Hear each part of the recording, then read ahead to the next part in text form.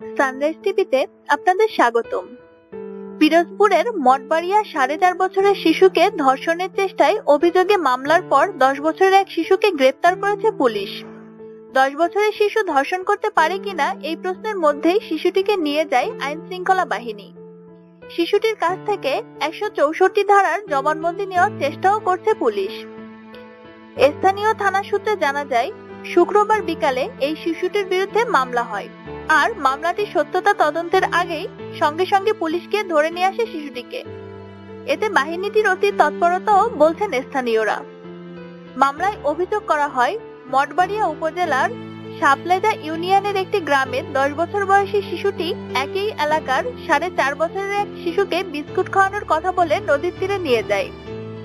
এ সময় ওই শিশুকে একটি ঝোপের মধ্যে নিয়ে ধর্ষণের চেষ্টা চালায় বলেও অভিযোগ করা হয় মামলায়। সাড়ে চার বছর বয়সী শিশুটির মা জানান, তার সন্তান বাড়িতে ফিরে ঘটনাটি তাকে জানায়। এরপর শুক্রবার বিকালে মা বাদী হয়ে মঠবাড়িয়া থানায় নারী শিশু নির্যাতন আইনে দশ বছর বয়সী শিশুটিকে বিরুদ্ধে মামলা করেন। এরপর পুলিশ শিশুটিকে ধরে নিয়ে আসে।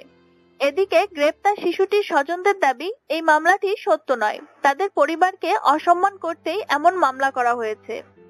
জানতে চাইলে মঠবাড়িয়া থানার ওসি বলেন, শিশুটিকে তারা হাজতে রেখেছেন, শনিবার তাকে আদালতে তোলা হবে এবং তখন একশো চৌষট্টি ধারার জবানবন্দি নেওয়ার চেষ্টা করা হবে। ওসি বলেন, আমরা দশ বছরের একটা শিশুর সঙ্গে যেরকম আচরণ করা দরকার, সেভাবেই করছি। সমাজসেবা অধিদপ্তরের একজন কর্মকর্তার মাধ্যমে তাকে আদালতে পাঠানো হবে। আদালত তার বয়স বিবেচনা করবে।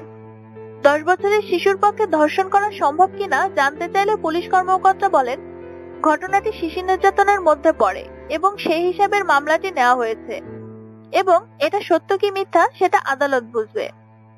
এদিকে ঢাকা মেডিকেল কলেজ হাসপাতালের মেডিসিন বিভাগের অধ্যাপক বলেন, দশ বছরের একটা ছেলের পক্ষে ধর্ষণ করা আদৌ সম্ভব নয়। আমাদের সাথেই থাকুন আর সাবস্ক্রাইব করুন।